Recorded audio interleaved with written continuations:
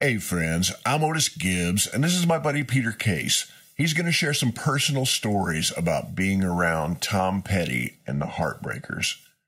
I guess the first time I might have met Tom Petty would be at uh, some like rock bowling party or something like that. Uh, rock bowl, like some D, some DJ or promo guy or like one of those, like all these rockers would show up and everybody would show up like stoned out of their mind. So I met him at something like that. He came with his wife at the time and they were like bombed and we were too. And like, I can't even remember if we bowled or what. But then uh, the first time I saw Petty play was the day that Plimsoll, uh, the, the day the Nerves arrived in uh, Los Angeles. We drove down from San Francisco on January 1, 1977. And the first day we went there, it was I don't remember the order of this, but one day we went there to the Whiskey a Go Go. That was like our pilgrim, or the site of contact for us to get to LA. This band Van Halen is playing, and we go in there and there's like 50 people there. It's like the last show at the Whiskey on, you know, we, you know, some night. Van Halen's playing. It was January one, I think, or it was either this one way or the other. And Van Halen, we're like, these guys stink, man. Like, like. bad. Like they do the worst version of "You Really Got Me" I've ever heard in my life. And the guy's like doing wanking on the guitar, like this is crap, you know. And then so we left, like this stuff's not going anywhere. And then we come back the next day. You know, I kind of like those guys now, but at the time, but I just like what the fuck. And then uh, we go back the next day, and the Tom Petty and the Heartbreakers, and then they're also playing about for about fifty or sixty, you know, mostly girls that are like standing around in front of the stage, and it was really empty. And I'm like, well, these guys, this is better than Van Halen, you know, a lot better, you know. So we kind of got into that a little bit. And then uh, I knew Petty because I can't remember the order of things, but we played shows with him, you know, a number of shows. And so the Plimsouls did. He liked the Plimsouls a lot. We played at the Whiskey one night to shut down the Whiskey, and uh, Petty came. Somebody, you know, we set it up so that Petty would come and, and it was the closing of the Whiskey like it opened up again later, but it was the actual real closing of the real whiskey. Like the whole place went out like in a riot at the end of it. Like people were carrying out booths and shit. You know, the, the original booths that like the Beatles and Jayne Mansfield sat and all that kind of stuff.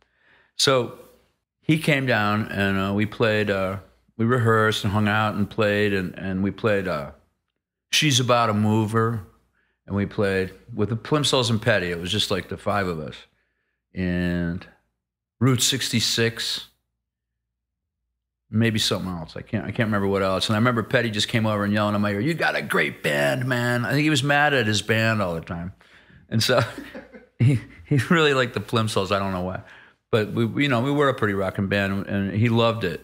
And so then we started playing festivals with him, and it was always nice to be around him. We played some huge festival up north, Mountain Air Festival or something. I forget what it was called and we played a couple nights at the Universal Amphitheater, opening up for him. And he was so he was super friendly.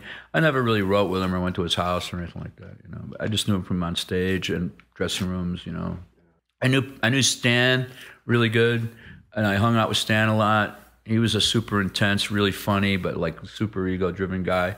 And then, uh, I mean, I, I Stan, but you know, he's he was a good guy though. But he, you know, he, he was really satirical and I imagine that got on Tom's nerves after a while. And then Benmont was like the sweetest guy in the world, and we both we we knew this uh, girl uh, in common. You know, we had like a common friend, and she brought me over to Ben's house, and I would sit and play piano with Ben.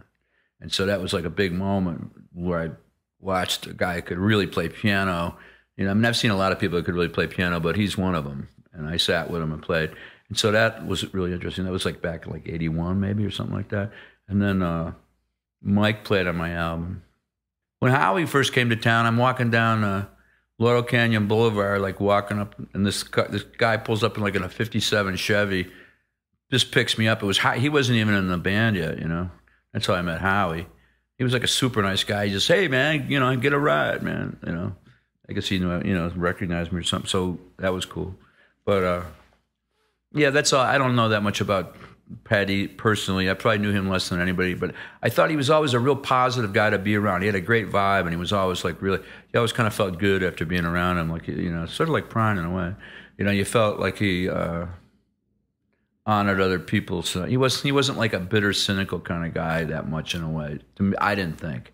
I know some people might have thought he was, but I didn't. I thought he was like a very positive, like really, you know, um, creative guy to recognize that in other people. You know, I, I liked them a lot.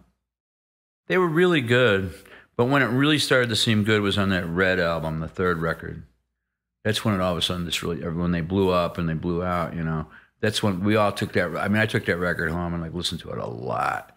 You know, like that. You know, the first two records were good, but then when that record came out, you go, okay, this, these guys just hit a home run. This is like a, you know, like a real like every cut on this record is a great cut. And so um, I'd already known quite a bit about him. I was friends with this guy, Gary Sperrazza, that, that had interviewed Tom. And this was in 77. Gary was from Buffalo. He had a, record, a magazine called Shakin' Street. And he was like one of the original, like one of those kids that like Big Star in 74 and all that kind of thing.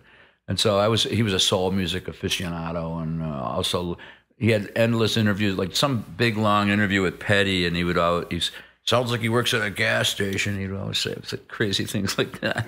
but you know, but uh, we, but we liked him, you know. And I used to go over to um, I liked Phil Seymour a lot, and like we used to go over to um, for a while. Me, Elkus, and Frack, and the guys I wrote a million miles away with, we used to go down and write songs at Shelter, and we were trying to um, get covers, but from people at Shelter. So we went in there, and they would buy us, you know, they'd get us high and like you know buy us whatever we wanted. And then we'd sit in this back room where there was a piano and write songs, try to get lucky. And, you know, um, Phil loved the song I wrote called Now. And so um, I was trying to get Phil Seymour to join the Plimsouls. I really didn't want to be the singer for the Plimsouls. It would have been so much easier to not be. And uh, he wanted to do it, but he wanted to call it Phil Seymour and the Plimsouls because he'd been in the Dwight Twilley band and nobody knew who. Are you Dwight Twilley? No, you're Phil Seymour. Like, why are you in the Dwight Twilley band? You're the lead singer, you know. So he was sore from that and all that. So I was friendly with those people at Shelter and Petty had just been through there. So yeah, there was a whole vibe of all those kind of guys, and they were inspiring. But they were inspiring to me more as like guys that were making records and were writing more than a live band yet at that point. Like it wasn't all together, but I found it inspiring that one, they had a record contract, two, that they were like writing the way they were, you know, especially Petty, but also Dwight. And and uh, I like to listen to the magic with Petty playing bass on it. You know that track.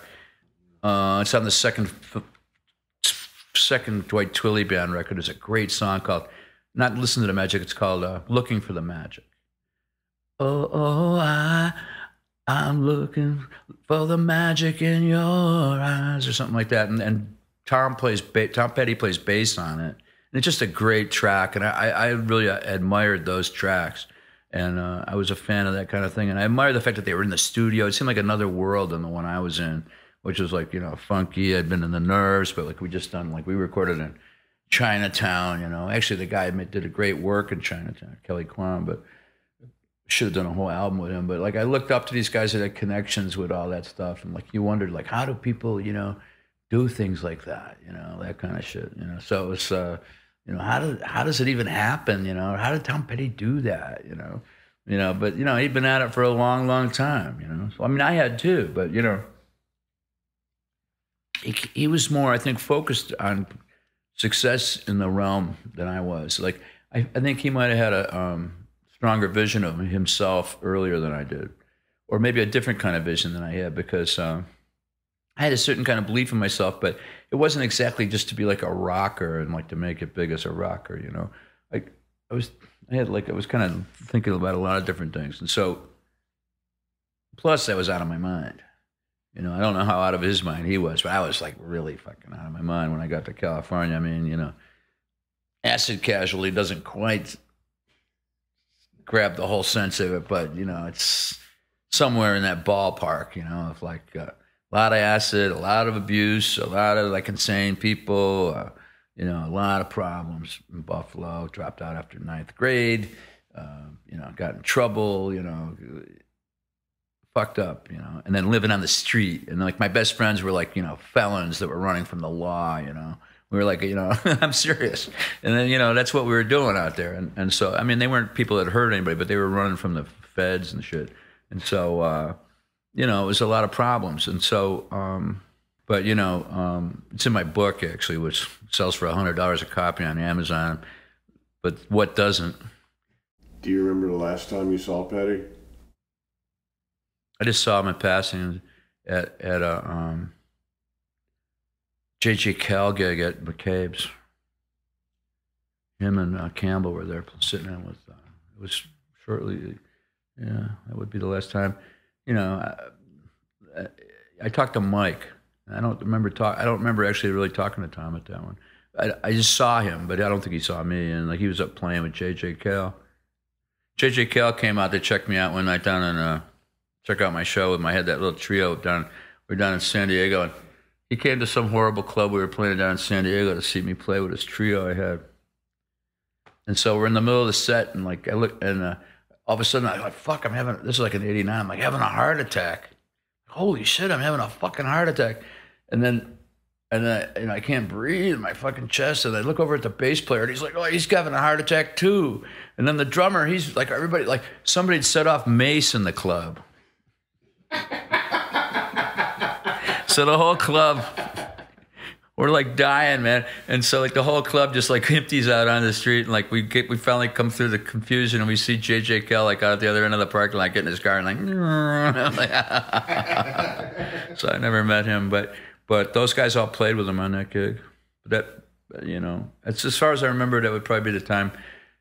The last time I talked to him at all was we played some big gig with him back in the Plimsouls days. I think I don't I don't think I ever talked to him after the Plimsouls I, I, can't remember though. I don't think I did. He was very friendly when, when we were all doing the thing with the Plimsouls and all that. But